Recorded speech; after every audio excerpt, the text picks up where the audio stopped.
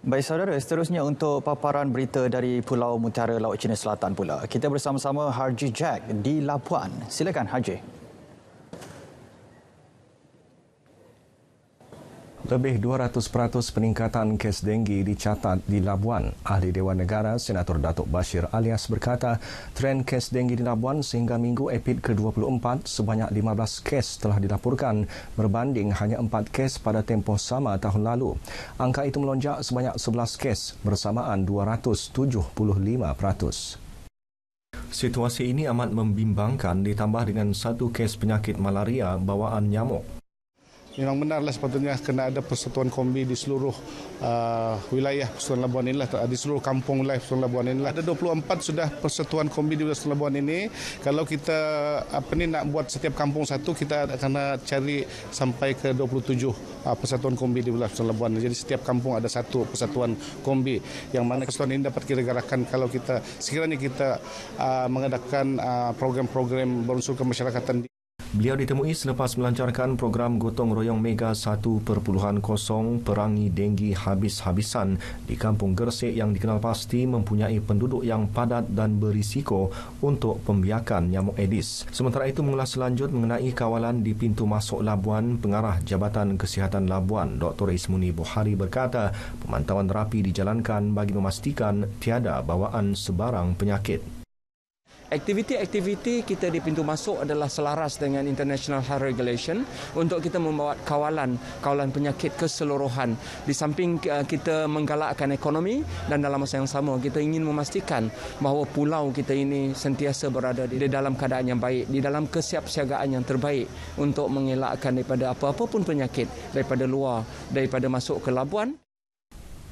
Pelaksanaan fasa pertama projek menaik taraf tapak pesta layang-layang yang bernilai lebih RM480,000 siap sepenuhnya di pantai Taman Damai Kampung Layang-Layangan. Pemangku Ketua Pegawai Eksekutif Perbadanan Labuan Ridwan Muhammad Ismail berkata, penyediaan tapak itu bertujuan untuk mengadakan pesta layang-layang yang merupakan acara tahunan produk pelancongan Labuan. Tapak berkenaan menyediakan pelbagai fasiliti bagi kemudahan orang awam. Jadi kita telah pun membuat projek menaik taraf yang mana merangkumi uh, 53 petak letak kereta dan juga 20 petak untuk letak motosikal. Dan samping itu juga kita uh, juga menyediakan signage dan juga beberapa uh, tiang untuk pencahayaan. Beliau ditemui selepas majlis penyerahan simbolik projek itu daripada pihak pemaju kontraktor kepada Perbadanan Labuan. Kerajaan menerusi Kementerian Pelancongan Seni dan Budaya Malaysia komited untuk membantu meningkatkan semula pembangunan sektor seni dan budaya dengan memperkenalkan pelbagai geran bantuan dan penganjuran bengkel pemerkasaan. Bantuan geran sepadan seni kebudayaan dengan peruntukan 25 juta ringgit mampu membangunkan semula industri berkenaan selepas negara dilanda pandemik COVID-19 dengan garis panduan ditetapkan. Untuk mendapatkan dana, mereka perlu memohon program-program yang boleh mengangkat seni, budaya dan warisan di Malaysia uh, melalui acara-acara ataupun program ataupun uh, berkaitan di bawah uh, budaya seni dan warisan. Beliau menyatakannya pada program Jelajah Jerayawara Dasar Kebudayaan Negara dan Pemerkasaan Badan Bukan Kerajaan. Program bertujuan memberikan kefahaman dan penerangan konsep dasar tersebut kepada penggiat industri seni, budaya dan warisan khususnya di Labuan. Penganjuran program Bicara at Museum 2022 oleh Museum Chimney memberikan pendedahan dan memupuk kesedaran masyarakat mengenai kepentingan memelihara dan memulihara khazanah bersejarah dan budaya negara khususnya di pulau ini. Ia sekaligus mampu menyumbang ke arah pembangunan negara.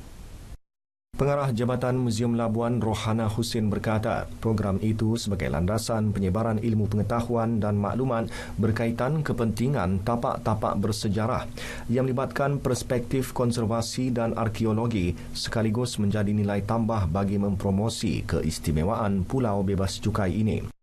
Semua uh, masyarakat di Labuan ini sedar untuk menjaga khazanah sejarah dan warisan negara dan untuk memelihara lah tapak-tapak yang bersejarah supaya mereka ni ada kesedaran untuk menjaga tapak-tapak atau bangunan bersejarah di Labuan ini.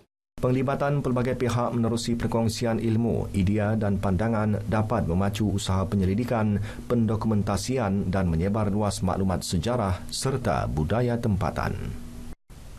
Dengan itu, sekian paparan berita wilayah dari Labuan kembali ke Angkasa Puri. Silakan. Baik, terima kasih Haji dengan perkembangan dari Labuan. Berita wilayah berakhir seketika kita ber-